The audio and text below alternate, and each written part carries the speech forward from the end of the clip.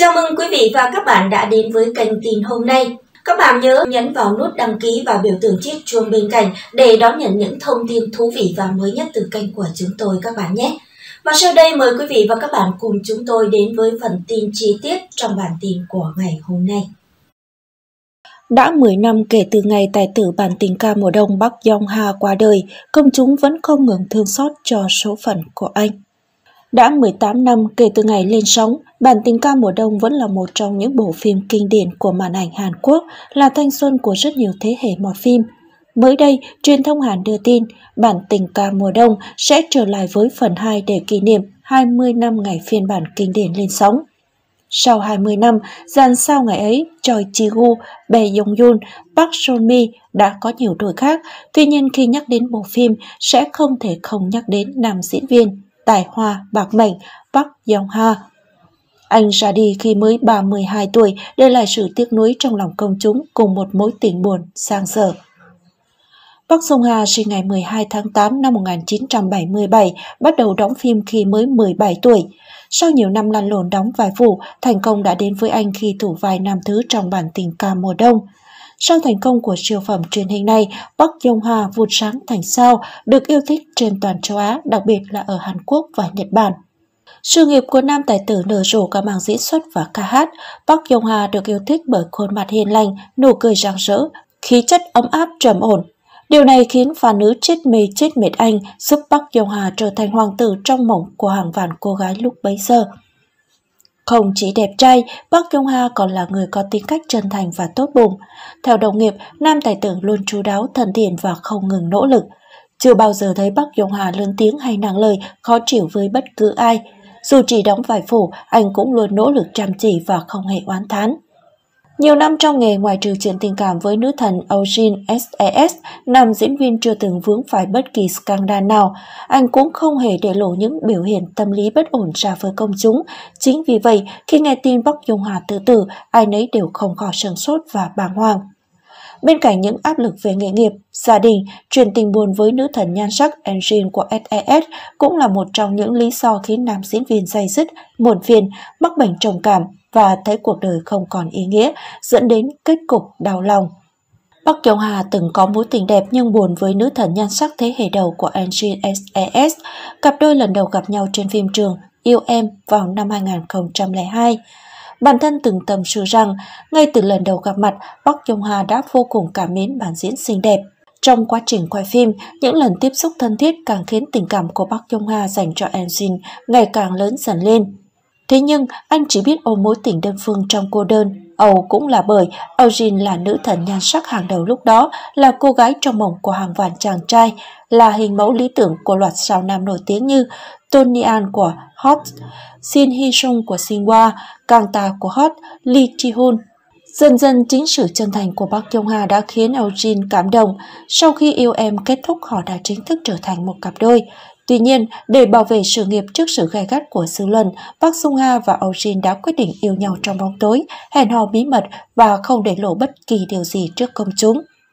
Cứ thế, sau khi cặp đôi yêu nhau được gần một năm, thì vào năm 2003, tin tặc đã xâm nhập máy tính của Park Jong Ha, đánh cắp những hình ảnh của anh bên bạn gái và tung lên mạng. Tin tức cặp đôi hẹn hò bị lộ ra khiến truyền thông xây sóng, công chúng bất ngờ. Đặc biệt, hình ảnh của Eugene ngồi trong lòng bạn trai với tư thế nhạy cảm khiến fan phẫn nộ, kiên quyết yêu cầu cặp đôi chia tay.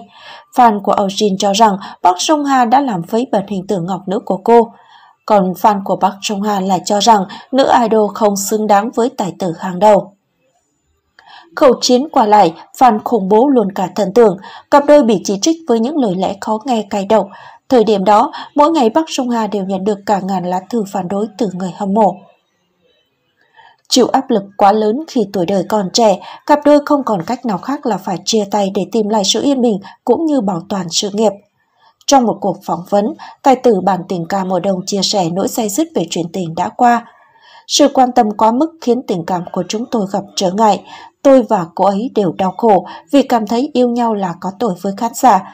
Hàng ngàn fan yêu cầu chúng tôi chia tay là vì người của công chúng. Chẳng lẽ vì tương lai, sự nghiệp, tôi phải rời bỏ người mình yêu thương nhất? Sau mối tình tan vỡ, Park Sung Ha trở nên lầm lũi và ít nói, không hẹn hò thêm một ai và khép lòng mình lại. Nam diễn viên tìm đến rượu để giải sầu, lâu dần bị trầm cảm và phải dùng rất nhiều thuốc an thần mỗi đêm mới có thể ngủ được.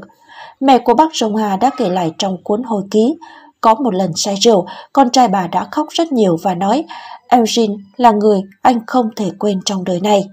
Chuyện tình cảm không như ý muốn, Bắc Trung Hà còn phải đối mặt với rất nhiều áp lực từ sự nghiệp và gia đình. Sự nghiệp công việc kinh doanh của nam tài tử gặp nhiều khó khăn, cộng thêm việc bố mắc bệnh ung thư giai đoạn cuối, tất cả đã trở thành cú đòn đánh thẳng vào tâm lý của Bắc Trung Hà. Dù sống trong tình yêu của người hâm mộ và mẹ ruột, nhưng Bắc Sông Hà vẫn không tìm thấy lẽ sống của cuộc đời. Anh đã quyết định chấm dứt tất cả khi mới 32 tuổi. Ngày 30 tháng 6 năm 2010, mẹ Park Sung Ha phát triển con trai đã tự tử bằng dây điện thoại tại nhà riêng. Anh không để lại bất kỳ lời nhắn hay thư tuyệt mệnh nào. Tin tức này ngay lập tức khiến làng giải trí Hàn Quốc nói riêng và châu Á nói chung chấn động. Không ai có thể ngờ rằng một ngôi sao tưởng chừng như có tất cả, danh tiếng, tiền bạc, không thiếu, lại chọn cách cực đoan để kết thúc cuộc đời.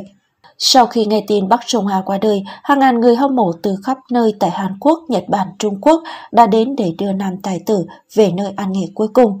Trong đó, đáng chú ý nhất là sự xuất hiện của Âu Jin, tình cũ của Bắc Trung Hà. Nữ diễn viên xuất hiện với gương mặt thất thần bơ vờ, sượng sốt, bàng hoàng như không thể tin vào sự thật nghiệt ngã, không ai có thể cầm lòng trước hình ảnh xót xa đó. Quản lý chia sẻ dù chia tay đã lâu, nhưng sau khi nghe tin Bắc Trung Hà qua đời, Eugene đã rất sốc, khóc nức nở và nhốt mình lại, từ chối trả lời phỏng vấn.